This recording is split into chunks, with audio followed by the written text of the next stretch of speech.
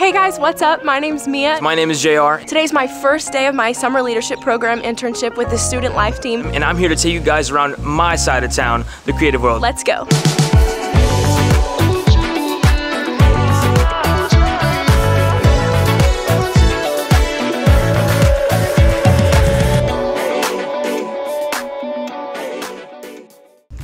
So for the next 12 weeks, students have been given the opportunity to sit under one of the department leaders and learn and grow from them and what they do in their department, not only practically but also spiritually.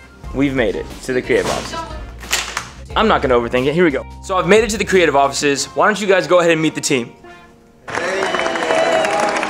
I'm here in my office that they have prepared for me. I have my fearless leader, Jenna Nielsen. My desk is so messy right now. We love Jenna. I love you. What am I doing this summer? We're gonna be getting everybody their housing assignments. Don't, share Don't look, secrets, don't look. 252 motion In two days. Or no, tomorrow. PKG. We've got a lot of stuff's happening at the dorm, so it's very exciting. Yay! Oh, that looks good. Thank you. Appreciate you. What is that? Uh, I was I went back home to Mississippi and I made a documentary of my grandfather while I was there. Dude. Updates. New projects. Each one update collage.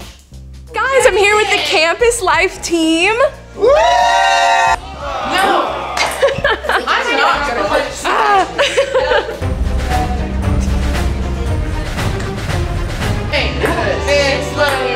Woo! Guys, we're getting tired. It's the middle of the day, so we're on our way to the Resolute Coffee and Bistro. That's right. And we're getting some coffee.